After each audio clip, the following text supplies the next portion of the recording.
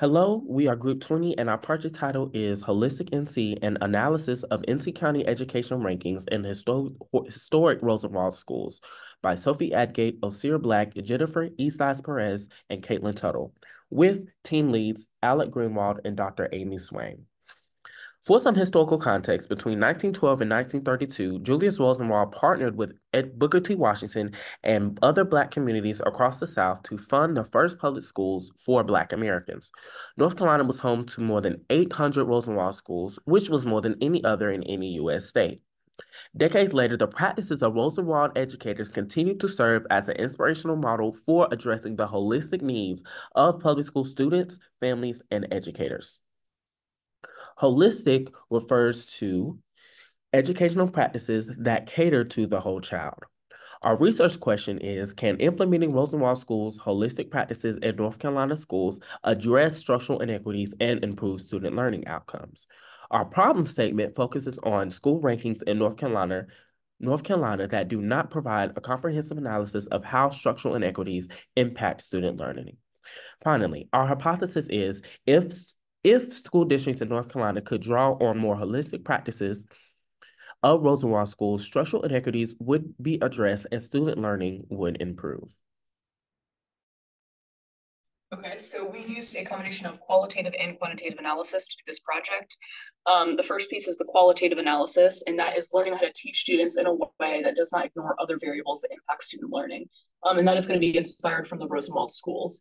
The other part is kind of a policy piece, and we're going to be analyzing um, the way that North Carolina currently ranks schools and to get a better idea of how students are actually doing, um, which is the quantitative analysis piece. So for the quantitative research, um, the assessment that we looked at is called the Roadmap of Need Assessment.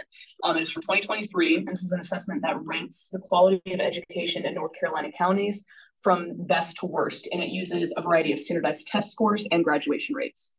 Um, to analyze this, we first created a model that can predict these outcomes, which we did through a few steps. Uh, first, we cleaned and organized a variety of data sets, such as percent homelessness in each county, percent uninsured, percent poverty. This is from all 100 North Carolina counties, and we put around 30 data sets into an inclusive CSV file.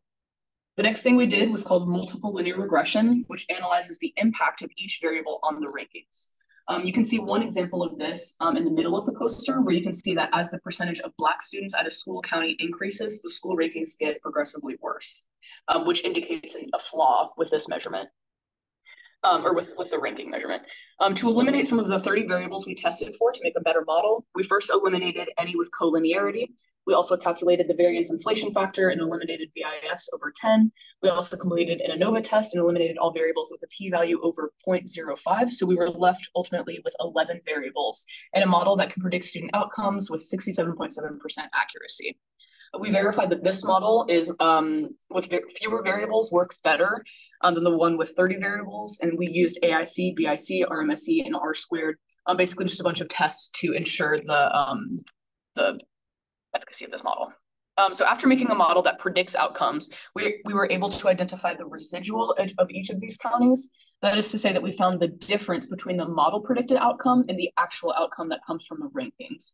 Uh, so with our new rankings that you can see um, at the top of the poster in the middle, um, the new quote unquote best school is the school that has the greatest positive difference in outcomes than the predicted outcome. Um, so the clear differences between the rankings, how you can see that the top 50 on the left side are all in green. And then when you, you know, essentially neutralize the effects of, you know, the presence of structural inequities, you can see that all of the counties are, you know, mixed up and they're just completely different.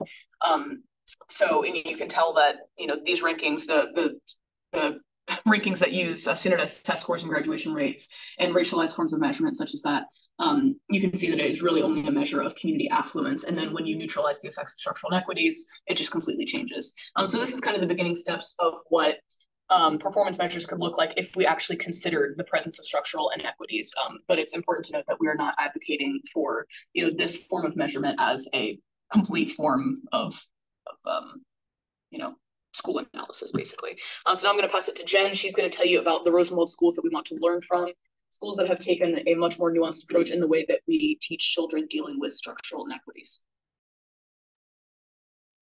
Okay, so for the qualitative results, the shown photo below is a picture of the Russell School in Durham NC, one out of the three counties chosen to be featured in our website. We've inter interviewed fellow Rosenwald alumni and have chosen the following quote. I remember that I wanted to make perfect attendance. I didn't want to miss any school days. That's because that's where my friends were. Where my teachers embraced us, it was almost like family. The quote exemplifies our holistic theme teachers focusing on and connecting with their students to ensure success. Our team has concluded that the North Carolina rankings need to account for the student as a whole to meet their needs to succeed. Rosenwald schools serve as a model for overcoming challenges through holistic education practices that secure the well being of the whole student. We want to thank everyone who has contributed to our project.